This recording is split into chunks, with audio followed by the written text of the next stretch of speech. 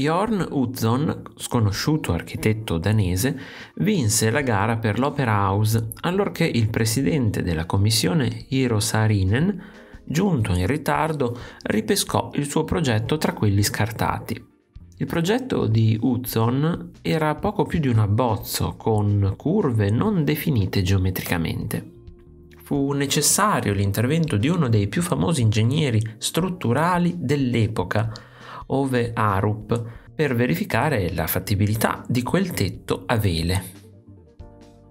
La Sydney Opera House venne costruita tra il 1959 e il 1973. È alta 65 metri e ha le dimensioni comprese tra 183 e 120 metri.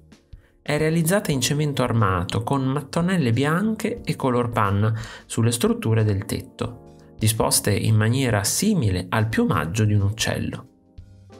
All'interno ha 6 sale per una capacità totale di 533 metri quadrati.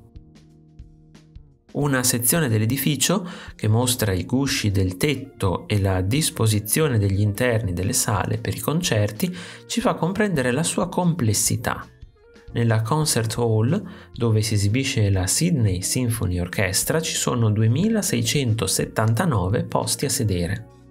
A est si trova il John Sutherland Theatre, più piccolo dove si esibiscono l'Opera Australia e l'Australian Ballet con 1507 posti a sedere. La proporzione dei gusci riflette lo spazio necessario per ricoprire le due sale. I gusci più piccoli ricoprono gli spazi riservati ai ristoranti. Lavorando insieme ad Arup, Hudson modificò il progetto iniziale per sviluppare un progetto basato sulle complesse sezioni di una sfera. I gusci in cemento poggiano su costole di calcestruzzo nel 2007 è stato dichiarato patrimonio dell'umanità, con la motivazione che si tratta di un capolavoro di un genio creativo non solo del XX secolo, ma nell'intera storia dell'umanità. Alcune curiosità. Hudson non riuscì a completare gli interni dell'Opera House.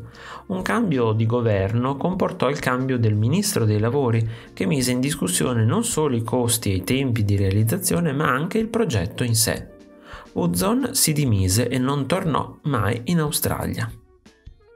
Il grande architetto americano Louis Kahn ha detto dell'Opera House il sole non sapeva quanto fosse bella la sua luce fino a quando non l'ha vista riflessa da questo edificio. Se ti è piaciuto il video iscriviti al canale, lascia like e condividilo con i tuoi amici ti invito anche a visitare il mio negozio. Un saluto e al prossimo video di Arte Esplorando.